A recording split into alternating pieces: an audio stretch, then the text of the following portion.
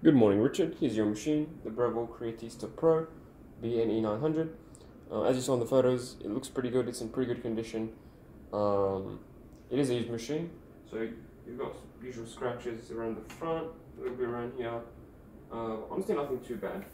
Um, machine works like new, no problems at all. and it also comes with this uh, nice little um, stand with the with the drawer for the Nespresso pods. So about 30 pods included as well in the sale. Um, so that's good. I'm going to turn on the machine now and make a coffee on it. So I'll be making my morning latte. Taking you through the process, um, giving you a couple tips and tricks. Um, really the main tip that I want to give you is to warm up the machine. So warm up the cups and the internal of the machine by running a bit of hot water. So I'm going to run hot water function. So on the screen, you, can't see the screen, but on the top right, there's a water droplet icon. You touch that, and it gives you clean hot water straight from the boiler. You also have quite a lot of options of uh, long black, espresso, latte, um, cappuccino, etc., etc. I'm gonna go for the cappuccino. So I'll pause the hot water pressing the same button to pause.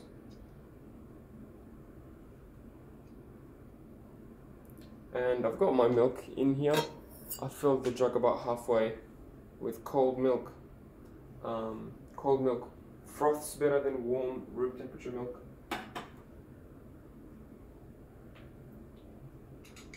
And uh, now the cup is nice and warm. I'm going to get rid of the hot water. Well, most of it. I'm going to get rid of most of the hot water. I'm going to keep a little bit because I like to add a bit of sugar to my coffee. Um, and a bit of hot water helps it mix with the espresso.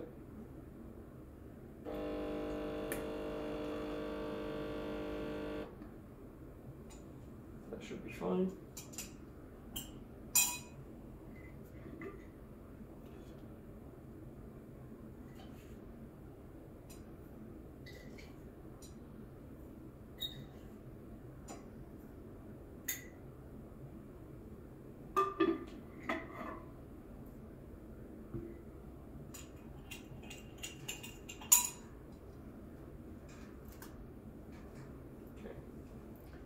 Now each shot is about 8 grams, 7 grams. So for double you need to do this twice. That's what I'm going to do here. I'm using this variety of beans, this variety of pod. Uh, I think it's quite mellow, I really like it. It's called the Stockholm. Stockholm Lungo. So I'm going to open the pod holder, press it. It's very easy put it in place and press the brew button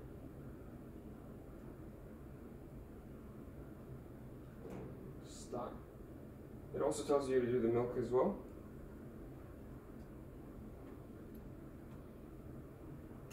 So place it on the sensor, just like that.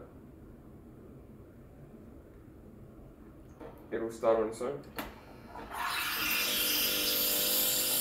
Because it's a dual boiler, it'll froth the milk and brew the espresso at the same time.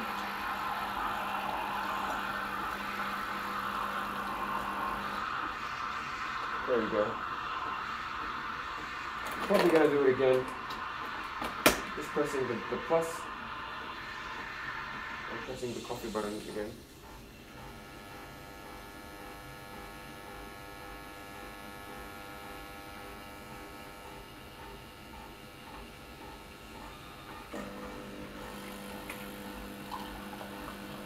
That's my second shot in.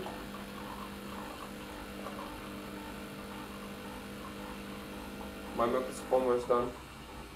It is quite quite a long shot, so if you don't like that, if you want your coffee nice and strong, do reduce the quantity on uh, on the selection screen. So when you press when you press um, this, the the latte button, it'll take you to this menu where you can select the temperature and the froth level of the milk. Um, on here you can select, oops, let's go out. Uh, so with the cappuccino you can select the length. It was on the default, oops, the screen wasn't recorded. So yeah, um, when you go from the main menu to cappuccino, you've got different levels. So long, normal, and short. Got two short selections and then normal. It was on the normal there, so this is twice of the normal. So if you want it to be nice and strong and concentrated, maybe put it in the first or second position, and drop that down. You've got the milk froth. It was just under halfway, so not a lot of froth that we'll be getting in this, as you see. Um, which if you want more froth, you can just increase the froth level. It's very easy. This was on the sort of 40% mark, you can say. Temperature was in here, which I suspect is like 60 degrees. Um, that's the usual frothing temperature for the for milk, 60 degrees, but it doesn't really say. It just says hotter and colder. I, I presume this is 70, this is 50, where 60 is in the middle. Yeah, so that's uh, a cappuccino. Let me just pour it together.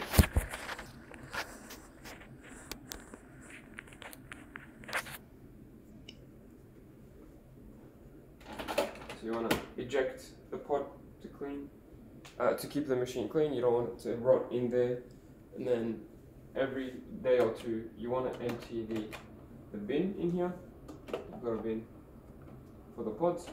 And if you're using a short cup, you also have the, um, the espresso cup uh, tray that you can hide away when you're using longer cups, which I always use. um, yeah, so that's that. Let me just grab a wet towel. We want to wipe the wand straight away. Once we're done with the steaming. So grab a wet towel there, give it a nice wipe. And when you push it down, it will clean itself. So just have, have a tissue or a towel handy because sometimes it spills a little bit. Well, uh, it's sort of inevitable that it spills a little bit because the cleaning procedure just blows a bit of air and steam um, through the wand to clean any milk residue. Otherwise, if it doesn't do this cleaning procedure, what will happen is that the, what will happen is the milk will um, clog the holes, creating sort of like a plug and uh, next time you come to steam it won't work because it hasn't done the cleaning cycle or the cleaning procedure for the wand. Um, so it's important that you wipe it when you're done and then you let it do that cleaning procedure. And just keep in mind that it may spill a couple, a few drops of milk here and there. Just have a tissue or a towel handy, like I said. Um, but that's it. Very easy, not much to think about. Uh, with these Nespresso machines, very easy to use. I'm gonna mix up my shot. very nice and mellow. Uh, honestly, it's so nice I can have it on its own. Uh, it's not like offensive or bitter or sour or anything. It's really, really nice. But yeah, adding the milk will make it an even more enjoyable drink for me. So knock the jug to knock knock the jug on the countertop just to break any air bubbles, and then swirl it around to keep it mixed up. I could have increased the froth level a level or two. Um, and that's my cat begging for some milk. She loves the milk coming out of this machine. Or any espresso machine, really. um, yeah. This is closer to a latte, I would say, just because we didn't get a lot of froth. Um, so maybe going to the max level would probably make this more of a cappuccino whereas in the middle it's more of a latte or a cafe latte.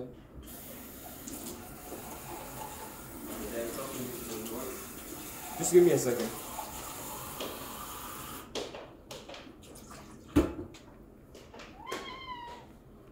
There we go, here's the final result. Maybe for a second. Looks delicious, I'm definitely looking forward to having it now. Craving my morning coffee. Um, but yeah, that's... Uh, that's the final result. Hope you enjoy the machine.